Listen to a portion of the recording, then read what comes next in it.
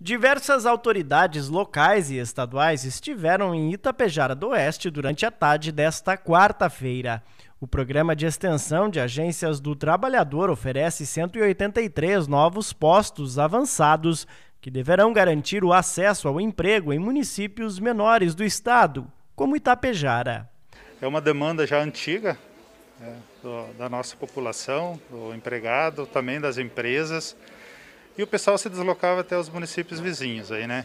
Os postos avançados são extensões das agências e terão todos os serviços disponíveis. Eles vão beneficiar os trabalhadores que buscam os serviços que possuem nas agências do trabalhador, quer seja encaminhamento do seguro-desemprego e quer seja intermediação de mão de obra para o mercado de trabalho.